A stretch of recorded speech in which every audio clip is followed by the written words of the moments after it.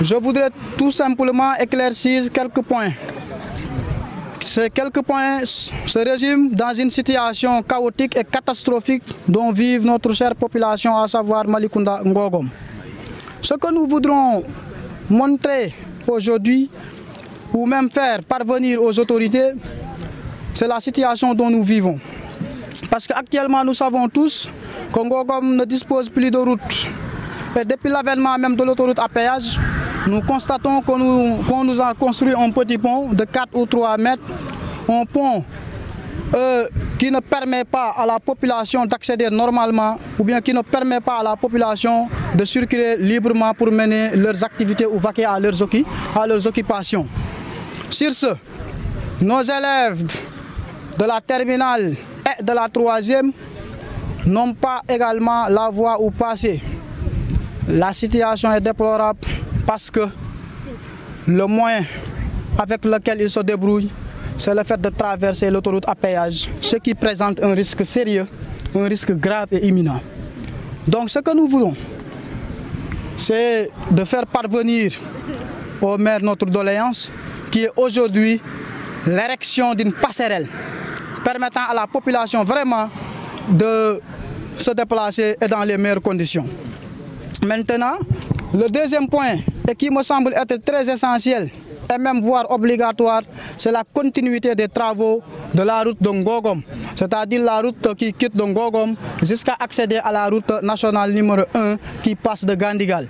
Parce que maintenant, la population elle est fatiguée, la population n'en peut plus, la population demande et dans la tranquillité et avec beaucoup de responsabilités au maire de prendre euh, véritablement euh, connaissance de la situation et d'essayer de régler la situation et dans les plus brefs délais.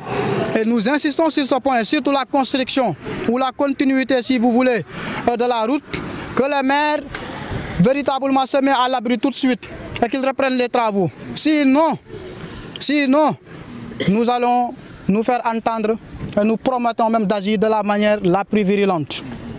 Troisième point, nous allons nous focaliser sur l'électrification, surtout l'électrification publique qui pose un grand problème ici à, Ngogom.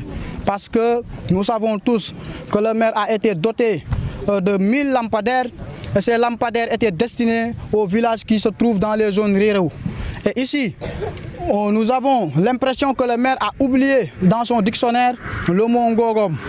Parce que étant donné que nous avons ici cinq villages qui constituent Malikunda Serer, et parmi ces cinq villages, il y a trois ou quatre, en tout cas, qui ont bénéficié de ces lampadaires. Mais pourquoi pas Ngogom? Je me demande la question, est-ce que Ngogom figure-t-il dans les tablettes politiques du maire? Ou bien est-ce que Ngogom a-t-il une population qui mérite véritablement d'être électrifiée? Maintenant, ce que nous réclamons, c'est notre part des lampadaires parce que c'est une nécessité qui est impérieuse, mais c'est une nécessité qui est sérieuse également. Et nous avons ce droit et ce devoir de réclamer parce que ça nous appartient. C'est ce que j'avais à dire à propos de, ces trois points.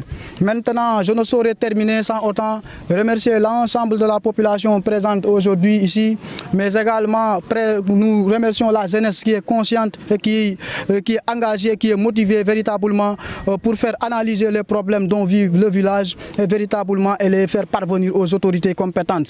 Maintenant, nous euh, remercions également la presse qui est aujourd'hui présente pour nous permettre d'avoir plus de visibilité, mais également on ne peut pas terminer sans remercier le mouvement du Afrique de qui est venu nous soutenir parce qu'ils savent véritablement que nous menons un combat noble, un combat social, mais également un combat patriotique. Mais c'est ce que nous avions à dire et nous disons un grand merci à tout le public véritablement qui est présent aujourd'hui.